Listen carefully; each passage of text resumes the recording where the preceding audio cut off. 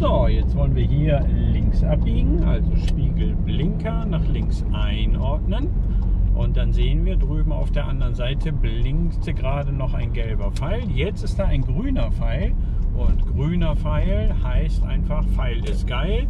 Wir können einfach fahren, wir brauchen nicht auf den Gegenverkehr achten, können einfach abbiegen, weil in dem Moment, wo der grüne Pfeil leuchtet, hat der Gegenverkehr rot und kann nicht fahren.